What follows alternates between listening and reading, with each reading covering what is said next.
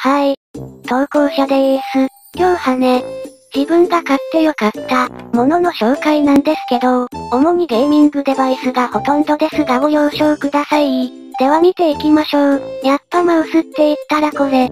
G プロスーパーライトかなこれワイヤレスで軽くて持ちやすくて最高です。なんと重さ 63g、動かしてる感覚ありません。困ったらこれ買っとけって感じ。名だたるプロたちもこれ使ってます。ちなみにカラーも白と黒で選べて白派おしゃれです。ただ白派黒よりも 1G 重いので、気にする方は注意です。ただ値段は高めって感じ。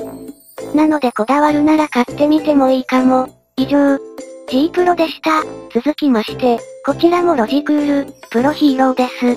このマウスはとにかく小さい。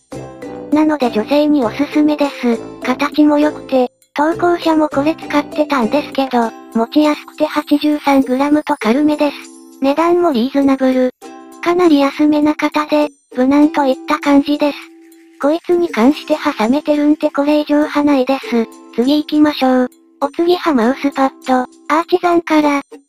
ゼロ忍者、FX です。これ初めて見かけた時は4000円くらいで、まだ安かった方なんですけどねいつの間にこんな値上がりしたんだ。ゲーミングのマウスパッドにしては珍しい日本製です。ただ日本製だけあってあまり有名でもなければ使ってるプロ選手もごく少数です。でもこれすっごいですよ。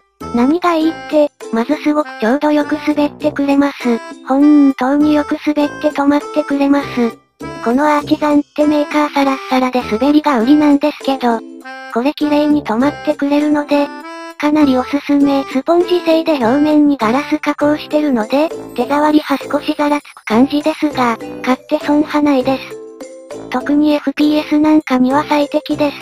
マウスパッドの硬さも選べて、X ソフト、ソフト、ミッド、といった感じで選べます。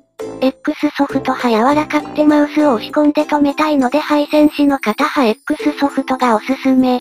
ソフトはミドルセンシからローセンシの方がおすすめです。ミッド派表面が硬く止める時も押し込めないので個人的におすすめはしてません。次。勉強から GSR です。このマウスパッドは無難、値段相応、ただ物持ち悪い、無名のメーカーの商品なんて使えん。冒険はしない主義なら王道のこれ買っとけばいいと思う。表面は硬めで薄めのマウスパッドです。感想なしただ無難。次。柄センス悪すぎやろ。田舎の人通りが少ない路地裏の壁って感じ。こちらは Xtrfy から GP4 です。これ見た目とは裏腹にめっちゃいいですよ。これ買って損ないと思います。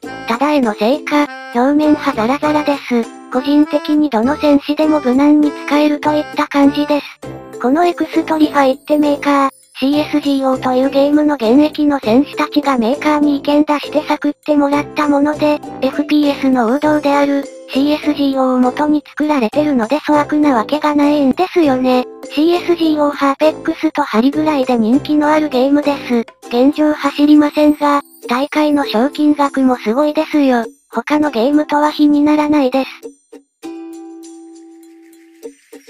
いやー、ちょっと内容薄すぎたかな？他にも色々買ったんですけど、レビューするに至らない商品が多かったので、以上です。